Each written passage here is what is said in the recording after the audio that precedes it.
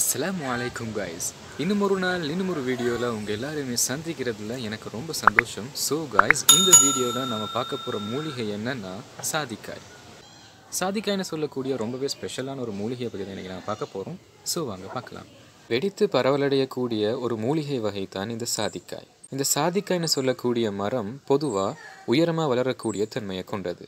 இந்த தாவரத்தில் இருக்கக்கூடிய சிறப்பம்சமே அதனுடைய நோய் நிவாரணமும் அதனுடைய வாசனையும் தான். ஸோ இந்த தாவரத்தினுடைய பிரதான செய்கை என்னன்னா இது வாசனையை ஊட்டக்கூடியது. அதனால தான் பொதுவாக வாசனை திரவியங்கள்னு சொல்லக்கூடிய பட்டியலில் நம்ம சாதிக்காவையும் சேர்த்துருக்கோம். அது மட்டும் இல்லாமல் இதனுடைய காய் மூலமாக மயக்கமூட்டக்கூடிய மருந்துகளையும் தயாரிக்கலாம். அதே போல் பெருங்கழிச்சல் வாய்வு நோய் தலைவலி இறைப்பு இருமல் அது மட்டும் இல்லாமல் வயிற்று வலி போன்ற பல்வேறுபட்ட நோய்களுக்கும் இதில் நிவாரணம் இருக்கிறதா? ஆயுர்வேத வைத்தியம் நிரூபிச்சிருக்கு. பொதுவாக இந்த சாதிக்காய் அதே போல் அதனோட சேர்த்து ஏலக்காய் கராம்பு சித்திரமூலவேர் போன்ற ஏனைய தாவர பகுதிகளையும் ஒன்று சேர்த்து அதை நல்லா அரைச்சி அஞ்சு கிராம் மாதிரி பொடி செஞ்சு நாம் அதை எடுத்தோம்னா நம்மளுடைய இருமல் வயிற்று வலி ஒற்றை தலைவலி அதே போல் வாதக வலி போன்ற நோய்கள் தீர்வதாகவும் குறிப்பிட்டிருக்காங்க.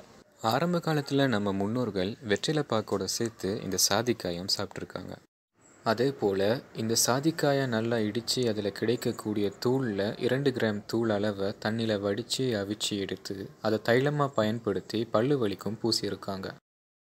ஸோ கைஸ் உங்கள் எல்லாருக்குமே இந்த வீடியோ கட்டாயமாக பிடிச்சிருக்கும்னு நான் நினைக்கிறேன். அதனால் இந்த வீடியோவை நீங்கள் பிரயோசனமாக இருந்துச்சுன்னு கருதுனீங்கன்னா இதை மற்றவங்க கூட ஷேர் பண்ணுங்கள் அப்புறமா இது தான் ஃபஸ்ட் டைம் என்னோட சேனல் நீங்கள் வந்திருக்கீங்களா இருந்தால் மறக்காமல் என்னோட சேனலை சப்ஸ்கிரைப் பண்ணிவிடுங்க ஸோ இன்னும் ஒரு நாள் இன்னும் ஒரு வீடியோவில் சந்திக்கலாம். அது வரைக்கும் டேக் கேர்